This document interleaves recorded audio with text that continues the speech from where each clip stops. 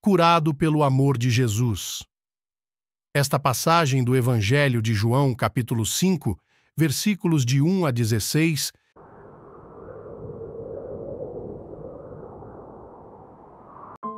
descreve o encontro de Jesus com o homem doente na piscina de Betesda, é repleta de significado e reflexão sobre diversos aspectos da fé, da cura e da ação de Jesus. A história começa com Jesus indo a Jerusalém, onde havia uma festa dos judeus. Ele se depara com uma cena peculiar: uma piscina com cinco pórticos, onde muitos doentes, como cegos, coxos e paralíticos, se reuniam em busca de cura.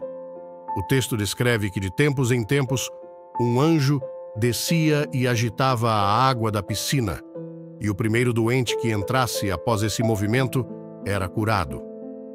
Nesse contexto, um homem doente, há 38 anos, chama a atenção de Jesus.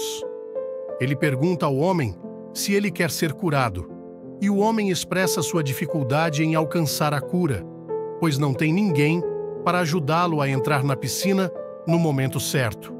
Jesus então ordena-lhe que se levante, pegue sua cama e ande, e imediatamente o homem é curado e começa a andar. No entanto, o milagre ocorre em um sábado, um dia sagrado para os judeus, e isso gera controvérsia. Os judeus repreendem o homem por estar carregando sua cama, uma atividade considerada trabalho, no sábado. O homem responde que foi Jesus quem o instruiu a fazer isso. Quando questionado sobre quem o havia curado, o homem não sabe, pois Jesus já havia se afastado. Mais tarde, Jesus encontra o homem no templo e o adverte para não pecar mais, para que algo pior não lhe aconteça. O homem então revela aos judeus que foi Jesus quem o curou. Isso desencadeia uma perseguição contra Jesus por parte dos líderes religiosos, pois eles consideram suas ações, especialmente curar em um sábado, como uma violação da lei. Essa passagem do Evangelho carrega diversas camadas de significado.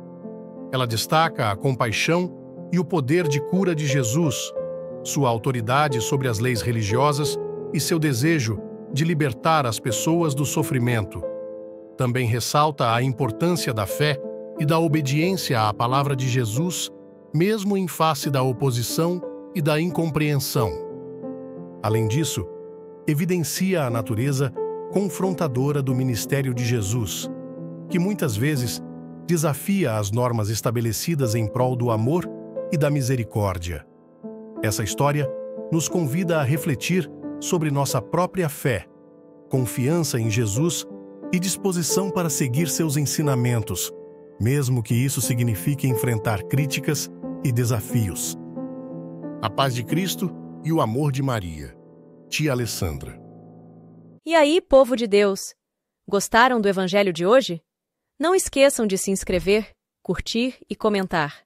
Isso ajuda muito no crescimento do nosso canal. Beijos da tia Alessandra.